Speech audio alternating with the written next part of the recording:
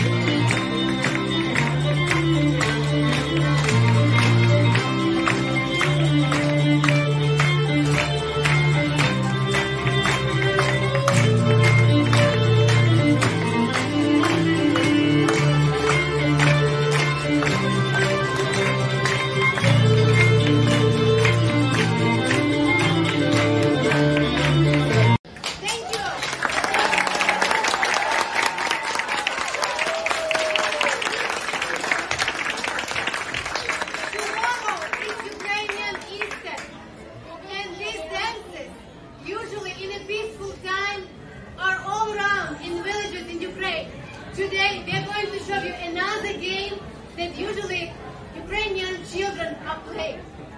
We are so grateful we have a friends like you. Thank God.